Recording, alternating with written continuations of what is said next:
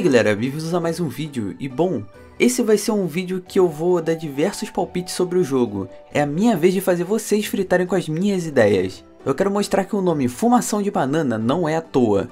Eu poli esse roteiro ao máximo, mas ainda assim vai ter gente muito confusa. Se necessário, assista esse vídeo mais de uma vez para entender, porque tem muita informação, precisa seguir a minha linha de raciocínio e estar ciente de todos os acontecimentos, informações e teorias de todos os dois jogos. Eu geralmente gosto de embasar bastante o que eu digo, com fatos dentro do jogo, mas com Deltarune é inviável de não especular tendo apenas um capítulo. Por isso eu peço para que não levem nada daqui como verdade absoluta, até porque o intuito é especular teorias junto com vocês.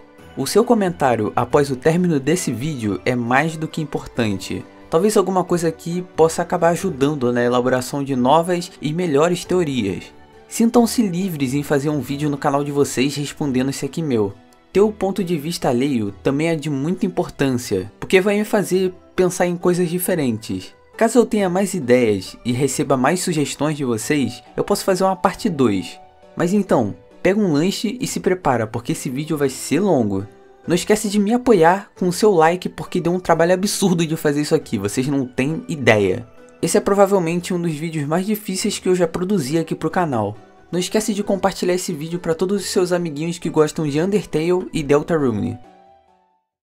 Acho que eu posso começar com a parte mais importante do jogo, o experimento. As mensagens deixadas pelo Gaster no Twitter do Undertale, a mensagem deixada durante a instalação, o nome do jogo como programa de pesquisa, o som de uma sirene. Quando morremos, Gaster pergunta se gostaríamos de tentar novamente ao invés de voltarmos sozinhos para o nosso último ponto de save. Máquina ligando. Eletricidade.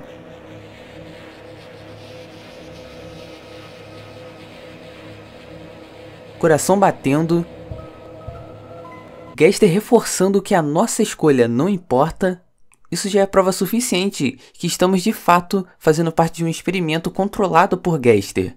Acredito que essa máquina é o que conecta esses dois mundos e é a tal criação ao qual o Gaster caiu. Isso me faz entender que o final do jogo tem alguma conexão com esse experimento. Deixa eu tentar explicar. Cada capítulo será um dia, e o último será o dia em que Ezreal voltará para casa.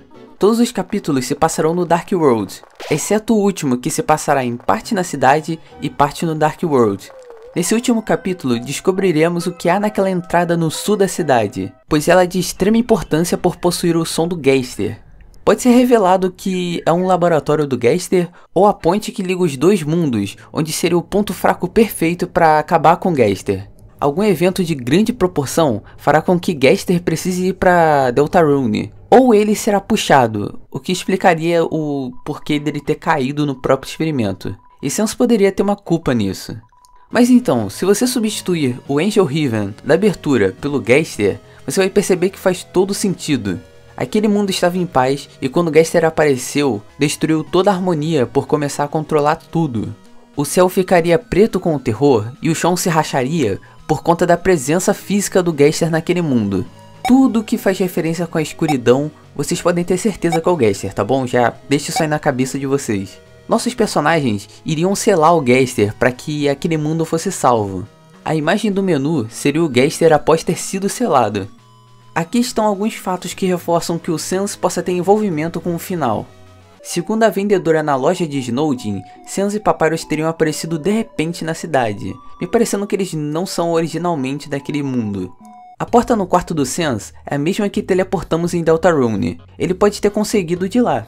No Tumblr do criador dos tarotes vendidos lá no Fangamer, existe uma carta do Gaster que não foi para a versão final. Nela podemos encontrar o Gaster entrando em uma porta, olha que importante, uma porta, na frente de uma das máquinas do laboratório real. Isso mostra que essa porta é muito importante. Sans possui o poder de teleportar entre aspas, o Gaster Blaster e pode sentir anomalia no espaço-tempo, porque adquiriu isso através das pesquisas do Gaster e não por ser um parente. Ele querer nos mostrar a verdade e nos levar até aquela sala secreta atrás da casa dele não foi à toa. Ele queria nos mostrar essas conexões com Deltarune. Temos uma pesquisa daquela máquina quebrada que provavelmente é a que o Gaster caiu. Também há uma foto com três pessoas com a frase Don't Forget, que possivelmente é aquela cena do menu do Deltarune. Será que esse tal distintivo é da Undyne do Deltarune? Talvez seja um presente dela pro Senso ou pro Papyrus. Talvez seja até um motivo pelo qual o Papyrus admira tanto ela no Undertale. Sans reconheceu o Frisk como um humano no primeiro encontro do jogo por já ter conhecido Chris em Deltarune. Sans teria aquele instinto de querer matar qualquer humano que aparecesse por lá novamente, porque chegou a conhecer o lado genocida do Chris. Falando nisso, quem é Chris? Eu aposto que vocês já pararam para pensar nisso. A minha teoria sobre a alma e o corpo artificial praticamente se confirmou em Deltarune e também pode ser aplicado a essa dupla personalidade de Chris. Podemos perceber essa manifestação da dupla personalidade em alguns momentos no jogo, como por exemplo, na aparência do personagem, no NPC do hospital perguntando se a gente iria tocar o piano novamente e que ele gosta, o que deu a entender de que Chris sabia tocar piano e que já havia tocado naquele hospital antes, mas quando a gente utiliza, o nosso personagem toca de qualquer jeito. No nome de Chris, no primeiro save, a partir daquele momento, o controle foi trocado. No corpo arrancando a própria alma no final. Isso me deixa com algumas dúvidas. Qual o propósito de tirar a própria alma? O que ele pode fazer sem ela? Chris começou a arrancar a alma depois de Ezreal ter ido para a faculdade ou ele sempre fez isso? Ezreal e Toriel sabem dessa transformação? A escuridão do Gaster teria alguma ligação com o fato do Chris ter arrancado a alma à noite? E com Frisk sendo possuído no final pacifista verdadeiro pós-genocida, que também foi à noite? Seria uma pista ou uma mera coincidência Chris ter tirado a alma exatamente em cima do símbolo do Deltarune? Até que ponto um controla o outro? Apesar desses vários questionamentos que eu tive, eu acredito que Chris coloque a alma de volta, porque eles precisam um do outro para viver. A alma seria responsável pela determinação e o corpo pelo poder. Palavra citada por Carol no final da Rota Genocida e que eu imagino que tenha uma grande importância. Isso explicaria o porquê de só existirem pontos de save no Dark Road, pela alma estar no controle e possuir a determinação para salvar. Não posso esquecer de falar de algumas coisas que ligam a Kara e a Rota Genocida. Será que a alma inserida em Chris é a nossa alma fornecida na Rota Genocida para Gester durante a tela preta? Coisas que conectam a isso é que tem essa cena pós-genocida de um personagem conversando com a gente na tela preta, tem um outro personagem que fala com a gente em uma tela preta antes de começar o Deltarune, e também um personagem que fala com a gente numa tela preta quando a gente morre. Já perceberam que se colocarmos o nome de vários personagens do Undertale durante a criação, ele diz uma coincidência interessante, menos para Kara e Frisk? Por que logo esses dois personagens tão importantes para a história não fariam parte dessa coincidência?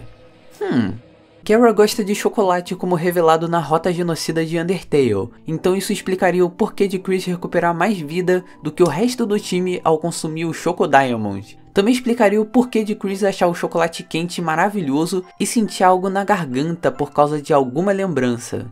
Na cena final do primeiro capítulo e no final do pacifista verdadeiro pós-genocida, os dois personagens dão um sorriso e piscam com o olho direito. Nesse momento, os dois personagens são considerados sem alma. Sinto que o olho direito nos humanos piscar e o olho esquerdo nos monstros não seja uma mera coincidência. Quem sabe a gente descubra alguma coisa sobre. Frisk pode ter sido substituído de alguma forma por Chris nessa rota, e por isso Chris teria aparecido na poça. A aparência é a mesma. A vida de Chris é 90, enquanto a de Frisk é 20. Isso pode ter alguma ligação com Love e XP, ou apenas uma modificação por causa das batalhas que agora são mais complexas.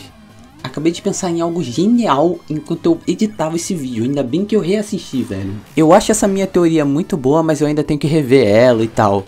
E se no final de Genocida, a alma de Kara e de Frisk se mesclaram? Gester pegou na tela preta e usou essa junção para criar Chris artificialmente em outro mundo. Cada um continuaria com a responsabilidade de dar o poder e a determinação, mas estão o tempo todo brigando para tentar se dominarem. Se vocês perceberem bem, a entrada 17 se encaixa perfeitamente na situação pós-tela preta do final genocida. Por isso que essa entrada foi removida da versão final. Escuro, escuro, ainda mais escuro. A escuridão continua crescendo. A sombra corta profundamente. Isso seria a escuridão da tela preta e o Gaster tomando o controle. Photon lendo negativo. Esse Photon pode ser uma referência à cor de Frisk e Kara, que são cores negativas. Esse próximo experimento. Que coincidência interessante ele citar sobre próximo experimento e vários fatores que mostrei aqui anteriormente indicarem que Deltarune é fortemente um experimento. Parece muito, muito interessante. O que vocês dois acham? Isso poderia ser Gaster falando com Frisk e Kara naquela tela preta pós-genocida, antes dele fazer aquele mundo. Isso me faz pensar que o nome final verdadeiro não é à toa e dá um outro sentido para as rotas. O fechamento de um ciclo bom seria o final pacifista verdadeiro, e o fechamento de ciclo ruim seria o final pacifista verdadeiro pós-genocida. O fechamento do ciclo explicaria o porquê do Toby ter dito naquelas perguntas e respostas do Twitter que as nossas ações do Deltarune não ia mudar em nada no Undertale, porque o Undertale já tá ali e a gente só tem que fechar esse ciclo fazendo um final bom ou ruim. O Deltarune pode ter dois finais alternativos, um em que tudo dá certo selando Gaster e o outro que dá algo errado, Carrie e Gaster dominam e voltam para o mundo de Undertale, o que liga a ação do final pacifista pós-genocida. O The End pode significar o fim do ciclo daquele universo, sendo ele bom ou ruim. Isso explicaria o porquê do nosso personagem não saber de nada daquele mundo e ter memórias de Undertale. Se o jogo tivesse